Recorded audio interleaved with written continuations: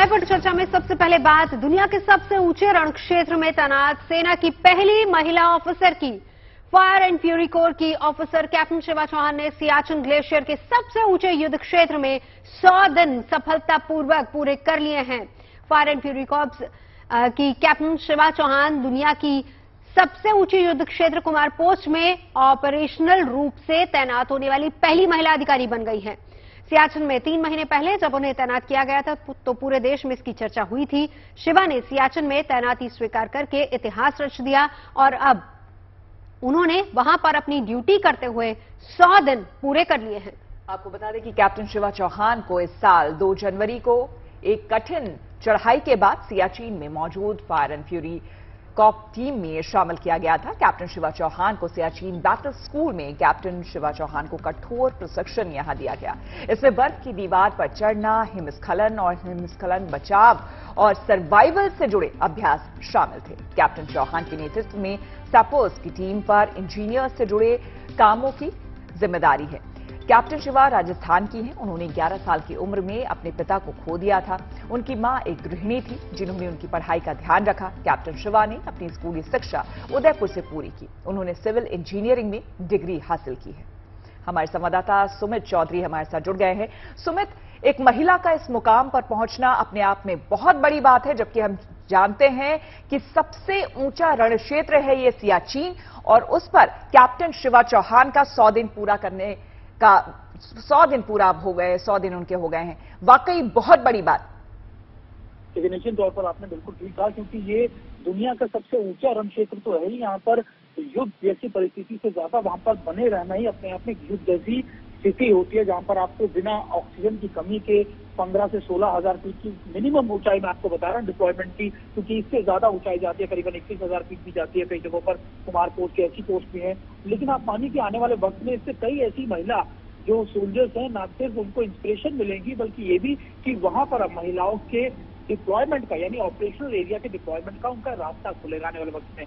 और शिवा चौहान कैप्टन शिवा चौहान ना सिर्फ़ एक इंजीनियरिंग विंग की आती है इंडियन आर्मी में, बल्कि आने वाले वक्त में जब दूसरे विंग्स को, यानी आपके बात सकते हैं कि मेडिकल विंग हो या दूसरे विंग्स हो, उनकी जब डिप्लॉयमेंट की बात आएगी, तब महिलाओं को ज़्यादा ऐसे एरियाज़ में डिप्लॉय किया जा सकता है। करीबन तीन महीने का टेनर उन्होंने काटा है, लेकिन अब अगली बार अगर उनको डिप्लॉय किया जाएगा तो वो और हायर ऑल्टीट्यूड में उनको डिप्लॉय किया जा सकता है। सुमित, देखिए चैलेंजेस बहुत ज़्यादा हैं। सुबह का तापमान माइनस इक्कीस डिग्री, बर्फीला तूफ़ान शुरू हो जाए तो तीन हफ़्ते तक वहाँ पर रहता है। और उससे भी बड़ी चुनौती देखिए, एक तरफ़ चीन और एक तरफ़ पाकिस्तान। जिस जगह पर कैप्टन शिवा चौहान तैनात थी।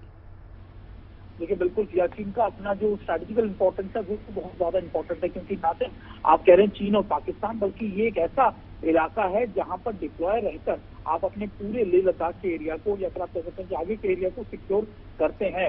और जब आप बैटल कैजुअलिटीज की बात करते हैं तो यहाँ पर आपको मैं बताऊँ कि अब तक भले ही ये चीज़ बोली ना चली हो, लेकिन हार्श वेदर यानी जो जो प्राकृतिक आपदाएँ आती हैं, प्राकृतिक जो डिफिकल्टीज हैं, उसको लेकर ज़्यादा कैजुअलिटीज होती है और ऐसे एरिया में बने रहना ही अपने आप एक बहुत बड़ा बहुत मुश्किल होता है और यही वजह है कि यहाँ पर डिप्लॉयमेंट किए जाने वाले सोल्जर्स को बहुत ज़्यादा ट्रेनिंग कड़ी ट्रेनिंग के बाद ही यहाँ पर डिप्लॉय किया जाता है। तो कैप्टन शिवा चौहान ना सिर्फ़ वहाँ पर डिप्लॉय नहीं उन्होंने अपना तीन महीने का टेन्योर पूरा किया बल्कि आप ये भी मानिए कि आने वाले वक्त में जब उनको डिप्लॉय किया जाएगा इससे और ऊपर पोस्ट पे आप कुमार पोस्ट की बात करें उसके बाद दाना पोस्ट दूसरी जो पोस्ट होंगी उस पर भी अगर उनको डिप्लॉय किया जाता तो वो वो डिफिकल्टीज को फेस कर कर आगे जी जी सुमित बहुत बहुत शुक्रिया इस पूरी डिटेल के लिए। तो ये मुकाम हासिल करना देखिए अपने आप में एक बहुत बड़ी अचीवमेंट तो देश को आज जो एक बड़ी सौगात मिली है, उसके बारे में भी बात कर लेते हैं। देश को आज एक और वंदे भारत ट्रेन की सौगात मिल गई है। इस ट्रेन से राजस्थान आने जाने वाले तमाम लोग जो हैं, उनको काफ़ी फ़ायदा होने वाला है, क्योंकि टूरिस्ट को भी जयपुर और अजमेर पहुँचने में अब काफ़ी आसानी होगी। बिल्कुल, वंदे भारत ट्रेन शताब्दी ट्रेन से भी एक घंटे कम वक्त में अजमेर पहुँचा देगी। इस ट्रेन में यात्रियों को वर्ल्ड क्लास की सुविधा मिलेगी। वो तो अच्छी बात है ही, लेकिन सफ़र छोटा हो जाएगा। सबसे ज़्यादा सहूलियत इस बात से होगी।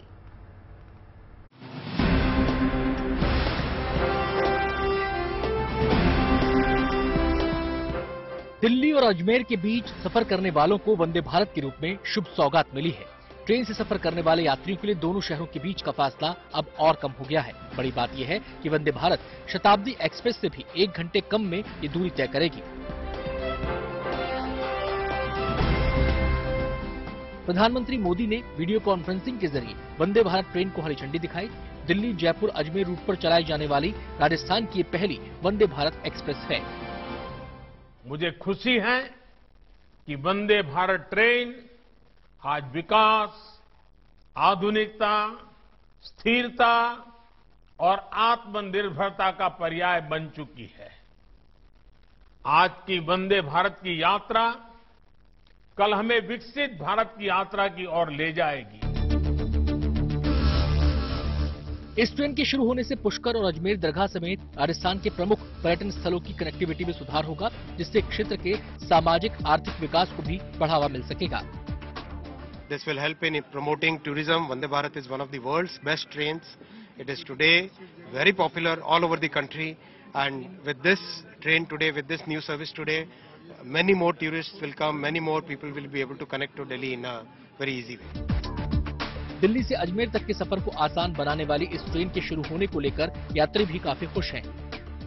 साथ में इतनी स्पीड होते हुए अंदर ये महसूस ही नहीं होता है कि हम इतनी स्पीड से ट्रेवल कर रहे हैं। ये इससे अनबिलीवेबल आई शुड से इससे देश को भी गति मिलेगी युवा को भी गति मिलेगी। हम लोग को बहुत अच्छा लग रहा है बहुत बढ़िया जहाँ तक ट्रेन की खासियत की बात है तो इस ट्रेन में कई नई तकनीकों का इस्तेमाल किया गया है। थोड़ा सा अगर आप आगे बढ़ेंगे तो खुद ही अपने आप सेंसर महसूस करेंगे और ये ओपन हो जाएँगे। अमूमन ट्रेन में आपने देखा होगा कि आपको हाथ से पकड़कर इसको बंद या खोलना पड़ता है, लेकिन इसमें बाकायदा सेंसर दिए गए हैं और सेंसर ऐसे हैं कि जैसे ही ट्रेन के दरवाजे के पास आप पहुँचेंगे, ये अपने आप ओपन हो जाएँगे। अब आप आइए थोड़ा सा बाहर इलाके में। अमूमन आपने ट्रेन के अंदर देखा होगा कि जब भी आप ट्रेन में सफ़र करते हैं तो ये स्पेस जो है बहुत ज़्यादा कंजेस्टेड होता है, लेकिन इसमें यात्रियों के चलने, फिरने के लिए बहुत ज़्यादा ध्यान दिया गया है।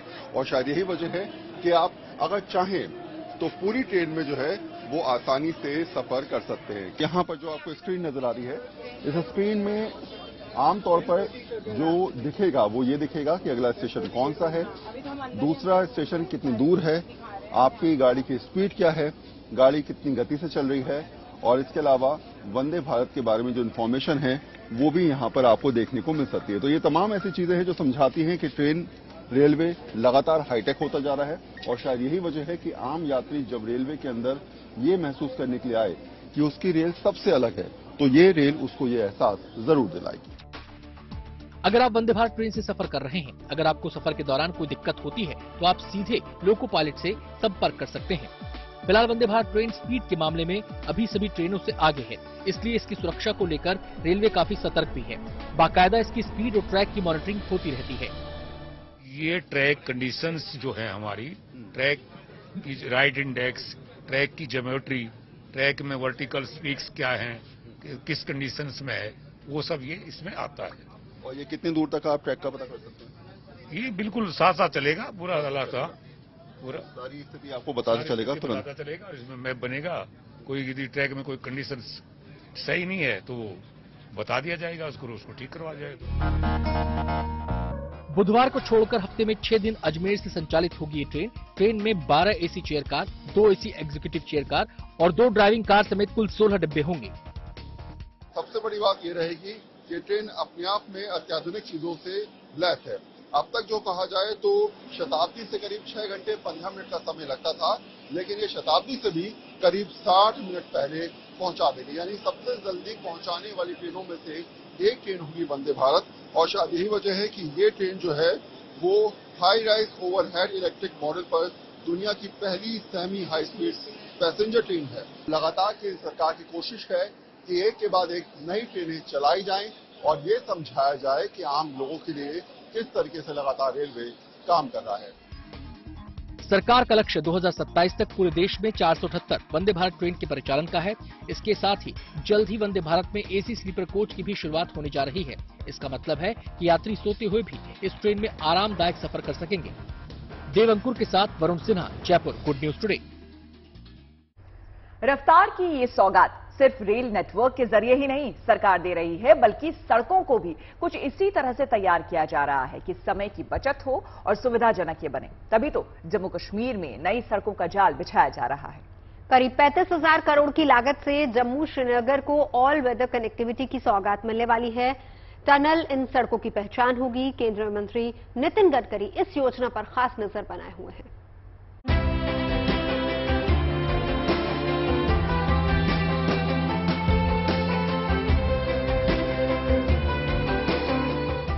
श्रीनगर से बनियाल के बीच बनी ये सुरंग जम्मू और श्रीनगर को मिलाने वाली ऑल वेदर कनेक्टिविटी की एक अहम कड़ी है। मौसम अब चाहे जितनी भी बेरखुई दिखा ले, पारा लुढ़के या बर्फ़ पड़े। इस टनल की वजह से जम्मू और श्रीनगर हर मौसम में एक दूसरे से जुड़े रहेंगे। मंगलवार को केंद्रीय मंत्री नितिन गडकरी ने इस टनल का मुआयना किया। उनके साथ एलजी मनोज सिन्हा और केंद्रीय मंत्री डॉक्टर जितेंद्र सिंह भी मौजूद थे।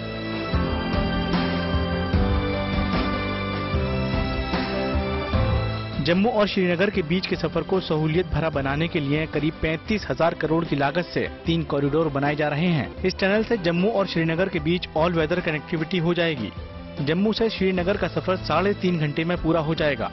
अभी इस सफ़र में नौ से दस घंटे लगते हैं। रामबन से बनिहाल तक 40 किलोमीटर की सड़क 2024 तक बन जाएगी। टनल बनने से जम्मू कश्मीर के बीच की दूरी 75 किलोमीटर कम हो जाएगी।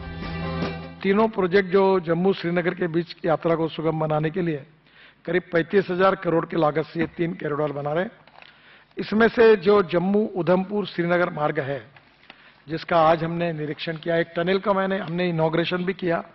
आदरणीय गवर्नर साहब वीके सिंह साहब और जितेंद्र सिंह जी और मैंने मिलकर और वो टनल की भी शुरुआत हो गई। तो जम्मू से उधमपुर रामबन बनियाल से श्रीनगर तक ये 16,000 करोड़ की लागत से अब इसकी लेंथ 245 किलोमीटर ही रही है, क्योंकि टनल बनने के कारण लेंथ कम हो गई है। ये चार लेन मार्ग बनाया जा रहा है। इसमें से 200 किलोमीटर मार्ग फोर लेन हो गया है और 21.5 किलोमीटर की 10 टनल का निर्माण हो गया है। नितिन गडकरी ने जम्मू कश्मीर में बने एशिया की सबसे लंबी जोजिला टनल का मुआयना भी किया। इसके साथ ही अमरनाथ यात्रियों को भी जम्मू कश्मीर में नई मार्ग की सौगात मिलने जा रही है। अमरनाथ जाने वाले श्रद्धालुओं के लिए भी करीब तिरपन करोड़ रुपए की लागत से 110 किलोमीटर के नए मार्ग का निर्माण किया जाएगा। अमरनाथ मार्ग के बारे में एक इम्पोर्टेंट बात केवल कहूँगा कि हमारे मनोज जी ने हमारे पास मांग की थी कि अमरनाथ तीर्थयात्रियों के लिए मार्ग निर्माण का प्रस्ताव, उसको आज मुझे खुशी हो रही है कि हमने स्वीकृति दी है। और 5,300 करोड़ की लागत से 110 किलोमीटर चार लेन टू लेन प्यो शोल्डर के मार्ग निर्माण की मैं आज घोषणा करता हूँ। जम्मू कश्मीर से Sunil ji Bhatt good news today. Dindori की मशहूर गोंड पेंटिंग के साथ आपको बता दें मध्य प्रदेश के पाँच उत्पादों को जीआई टैग मिलने से मध्य प्रदेश के लोगों को बड़ी सौगात मिली है। इसमें मध्य प्रदेश के मशहूर शरबती गेहूँ भी शामिल है। जी हाँ देखिए जीआई टैग मिलने से प्रोडक्ट्स को एक नई पहचान तो मिलती ही है। उसका महत्व भी काफ़ी हद तक बढ़ जाता है।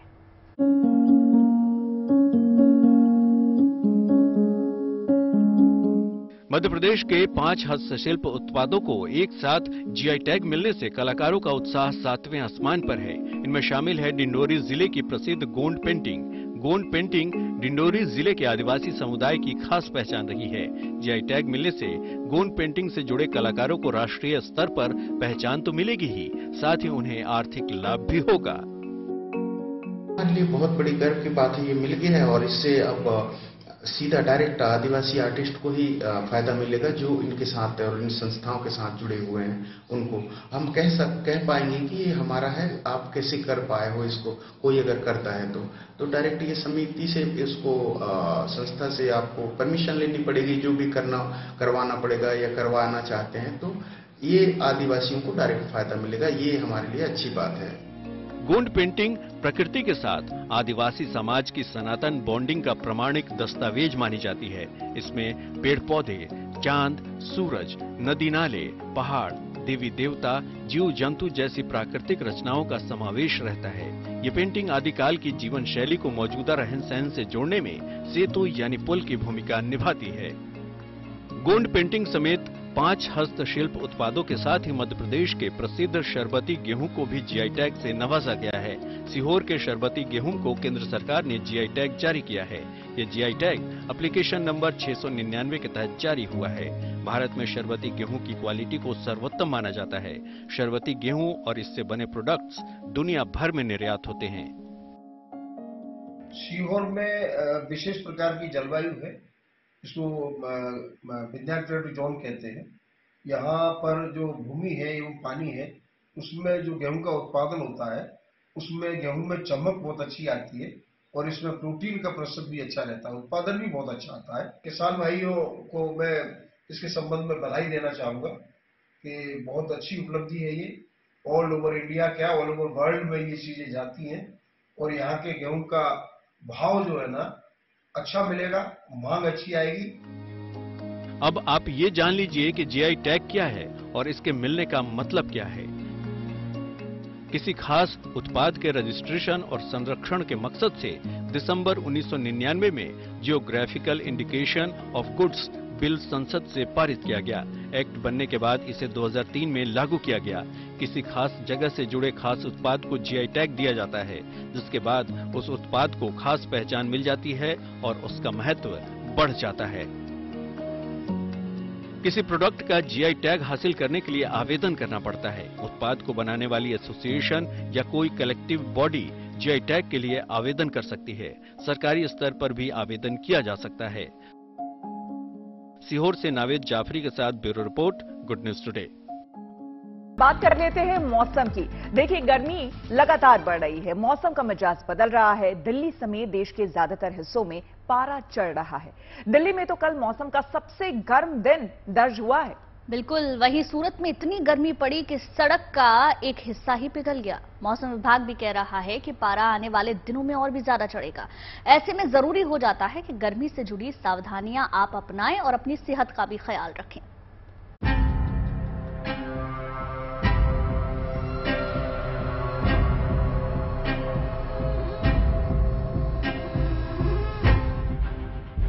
दिल्ली समेत पूरे उत्तर और पूर्वी भारत में अब सूरज की तपिश बढ़ने लगी है। तापमान बढ़ने के साथ ही गर्मी में इजाफा हो रहा है। माना जा रहा है कि अभी तो शुरुआत है। आने वाले दिनों में धूप के तीखे तेवरों के चलते गर्मी और बढ़ सकती है। मौसम विभाग की माने तो अप्रैल के मध्य से जून तक अधिकतम तापमान सामान्य से ऊपर ही रह सकता है। दिल्ली में आने वाले दिनों में तापमान 40 डिग्री तक पहुँचने का अनुमान है। दिल्ली में मंगलवार को तापमान अड़तीस दशमलव छह डिग्री दर्ज किया गया। मंगलवार को दिल्ली में पारा साल के अब तक के उच्चतम स्तर पर रहा। तो आज भी तापमान 34 डिग्री के आसपास बना हुआ है और मौसम विभाग ने ये साफ़ कर दिया है कि यहाँ से अब आगे दिल्ली वालों को गर्मी और धूप का ही सामना करना होगा। इस पूरे हफ़्ते की हम बात करें तो इस पूरे हफ़्ते में तापमान 38 डिग्री तक जा सकता है और अप्रैल और जून के बीच में तापमान 42 डिग्री तक पहुँच सकता है। केवल दिल्ली और आसपास के इलाकों में ही नहीं बल्कि दूसरे इलाकों में भी अभी से गर्मी बढ़ने के आसार हैं। जो ईस्टर्न इंडिया है वो अप्रैल महीना में टेम्परेचर राइज हो रहा है और नेक्स्ट फाइव डेज़ में टेम्परेचर राइज होगा। आइसोलेटेड प्लेसेस में हीट वेव कंडीशन डेवलप हो सकता है।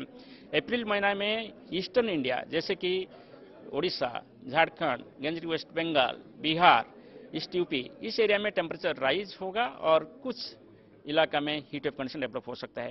अप्रैल टू जून की बात करें तो सेंट्रल इंडिया और नॉर्थ इंडिया का जो हीट कोर जोन है उस एरिया में नॉर्मल टेम्परेचर से एवो नॉर्मल टेम्परेचर रहने का उम्मीद किया जा रहा है। यानी मई महीना और जून महीना में। बढ़ती गर्मी को देखते हुए खास सतर्कता बरती जा रही है। ओडिशा में 12 से 16 अप्रैल तक स्कूलों में छुट्टी कर दी गई है ताकि बच्चों को परेशानी का सामना न करना पड़े। राज्य के कई इलाकों में पारा 40 डिग्री के पार जा चुका है। नेक्स्ट तीन चार दिन में नेक्स्ट चार दिन में टेम्परेचर और भी ग्रेजुअली मेनी प्लेसेस में उड़ीसा में इंक्रीज करने का चांसेस है। ये इंक्रीजिंग टोटल है हमारा थ्री टू फोर डिग्रीज तक होने का चांसेस है। तो इसका वजह से कुछ जिला में आइसोलेटेड पॉकेट्स में हीट वेव कंडीशंस भी अराइज कर सकता है। जैसा हमारा थर्टीन फोर्टीन फिफ्टीन ये तीन दिनों में नॉर्थ उड़ीसा का कुछ डिस्ट्रिक्ट्स में हम लोग हीट वेव वार्निंग भी दिए हैं। गर्मी का साफ़ असर पश्चिमी भारत में भी दिखने लगा है। गुजरात के सूरत में तो गर्मी के चलते सड़क ही पिघल गई। सूरत के अडाजन इलाके के जिलानी ब्रिज के पास सड़क का डामर पिघल गया। सूरत में अभी तापमान 35 से 36 के आसपास है। बढ़ती गर्मी को देखते हुए सेहत से जुड़ी सावधानी ज़रूरी है। इस दौरान खूब पानी पीना चाहिए। पानी बॉडी को हाइड्रेट रखता है। जूस भी फ़ायदेमंद होता है। मौसमी फल और सब्जियों का सेवन करें। बार बार चाय, कॉफ़ी पीने से बचें। हल्के और ढीले ढाले कपड़े पहने। धूप में निकलने पर छाते का इस्तेमाल करें। सिर को ढक कर रखें। गर्म हवा से आँखों के बचाव के लिए चश्मा पहने। बहुत ज़रूरी है कि हम जब बाहर जाते हैं तो कटे हुए फल, खुला हुआ सामान, ये ना खाएँ, क्योंकि इस समय इन्फेक्शन के चांसेस बढ़ जाते हैं। ये ज़्यादा इम्पोर्टेंट है उन लोगों के लिए, जैसे डायबिटिक पेशेंट हो गए एल्डरली हो गए हार्ट के पेशेंट हो गए, क्योंकि इनमें डिहाइड्रेशन के कारण उनके स्वास्थ्य को क्षति होने की संभावनाएँ बहुत ज़्यादा होती है। इसीलिए गुजारिश है कि गर्मियों में अपने स्वास्थ्य का ख्याल रखें, अपने आप को अच्छे से हाइड्रेट रखें। अभी तो गर्मी की शुरुआत हुई है। आने वाले दिनों में तपिश और बढ़ेगी। लिहाजा ज़रूरी है कि आप सावधानी बरतें, ताकि चढ़ता पारा आपको परेशान न करे और आप स्वस्थ रहें। गर्मी के साथ साथ तापमान बढ़ने के साथ साथ जो एक्यूआई है, वो भी बढ़ता हुआ दिखाई पड़ रहा है। मतलब हवा भी प्रदूषित होती हुई दिखाई पड़ रही है। आने वाले दिन इसी तरह गर्मी भरे होंगे प्रदूषित होंगे। ऐसे में अगर आप गर्मी में, धूप में घर से बाहर निकल रहे हैं तो अपने साथ वो सारा सामान लेकर ज़रूर निकलें, जिससे आपको गर्मी लगने पर राहत महसूस हो। अपने साथ पानी की बॉटल रखें और दूसरे इंतज़ाम करके ही अपने घर से बाहर निकलें। कैमरामैन मनीष झा के साथ Manish Chaurasia, good news today. Delhi. बात ग्रीन एनर्जी की करेंगे। सरकार का ज़ोर ग्रीन एनर्जी पर लगातार बढ़ता जा रहा है और कोशिश भी यही है कि जैविक ईंधनों का इस्तेमाल कम से कम हो लिहाजा सोलर एनर्जी पर ज़्यादा ज़ोर दिया जा रहा है। आपको बता दें कि पंजाब इंजीनियरिंग कॉलेज की एक रिसर्च इस मामले में लोगों की काफ़ी मदद कर सकती है। ये रिसर्च उन लोगों के लिए फ़ायदेमंद है जो कि बिजली के लिए सोलर पैनल का इस्तेमाल करते हैं।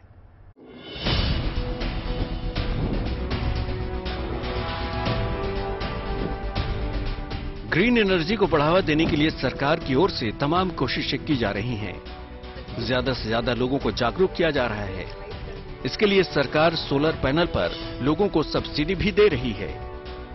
ग्रीन एनर्जी और सोलर पैनल पर पंजाब इंजीनियरिंग कॉलेज की एक रिसर्च सामने आई है, जिसमें करीब दो साल तक सोलर पैनल लगाने की दिशा और उसके एंगल पर अध्ययन किया गया है। और रिसर्च में पाया गया है कि मार्च से लेकर अक्टूबर तक सबसे ज़्यादा सोलर एनर्जी को इकट्ठा किया जा सकता है। इसे अगर दक्षिण दिशा में 16 डिग्री के एंगल में इंस्टॉल किया जाता है तो ज़्यादा एनर्जी स्टोर की जा सकती है।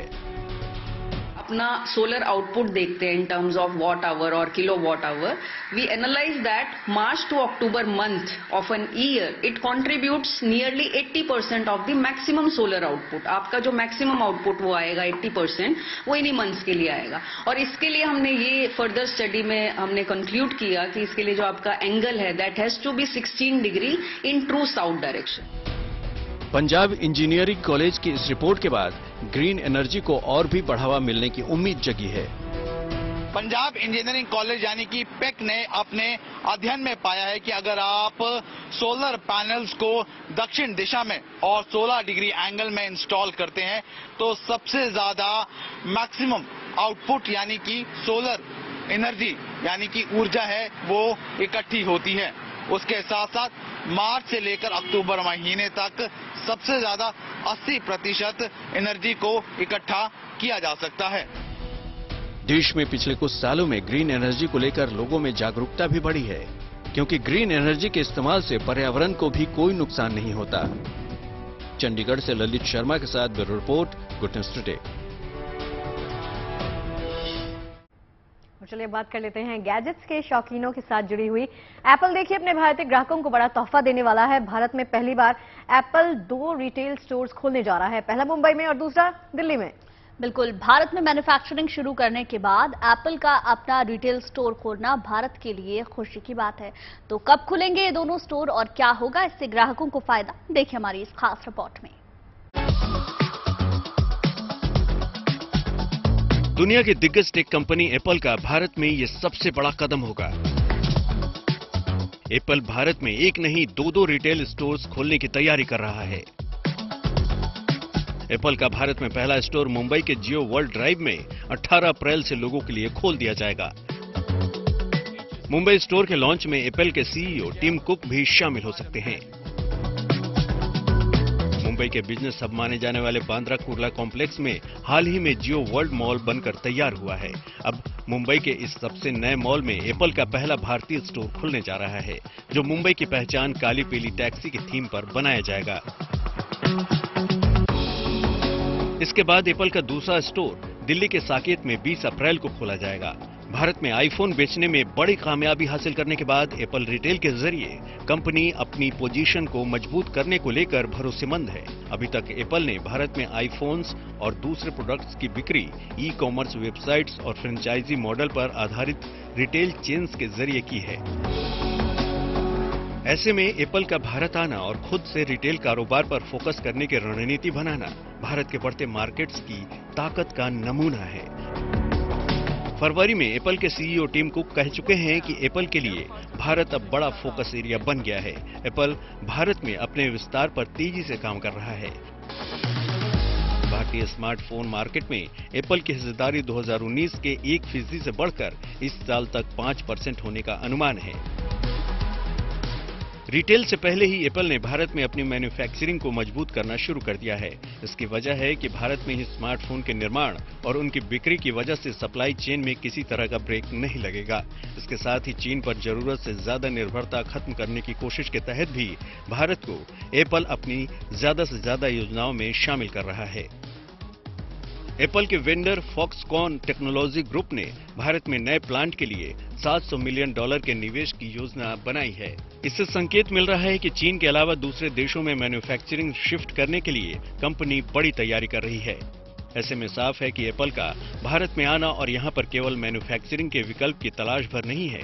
कंपनी तो मैन्युफैक्चरिंग के साथ साथ रिटेल को भारत में लेकर ही इसलिए आई है क्योंकि ये उसके प्रोडक्ट्स के लिए बड़ा बाज़ार है। देखिए, चाय गुड़ की हो या फिर चीनी की, गर्म हो या फिर आइस टी लेकिन मज़ा गुड न्यूज़ की चाय के साथ ही आता है। और गुड़ वाली चाय के साथ आता है। चाय खबरें हमारी गप्पे देखिए मुझे तो बहुत मज़ा आता है। वैसे मज़ा आपको भी आएगा आईपीएल की फन गली में छह बजे मेरे साथ। बिल्कुल तो शगुप्ता ने कह दिया मतलब हमारे जाने का वक्त आ गया है। अब आप आगे देखिए दे घुमा के। लेकिन हाँ अच्छी सच्ची और ताज़ा यानी कि चाय की तरह खबरों के लिए देखते रहिए गुड न्यूज़ टुडे